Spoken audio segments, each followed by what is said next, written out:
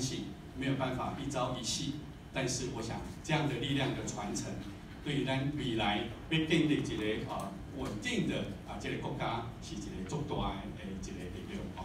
所以今天非常的感谢啊，一个非常感谢大家的一个光临啊。那等一下，我想大家大家很期待，等一下陈老师还有李明勇老师的这个分享啊。再一次谢谢大家，也祝大家身体健康，万事如意，谢谢。好，谢谢陈金豪馆长，我们请馆长回座。那同时，我们也接下来请工作人员。